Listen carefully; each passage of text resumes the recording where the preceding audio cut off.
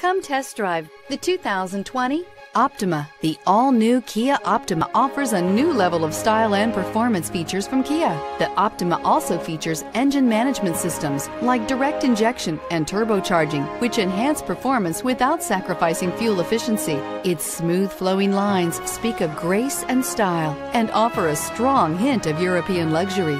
Here are some of this vehicle's great options. Aluminum wheels, heated side mirrors, traction control, daytime running lights, remote keyless entry, remote trunk release, FWD, headlights auto off, mirror memory, security system. This isn't just a vehicle, it's an experience. So stop in for a test drive today.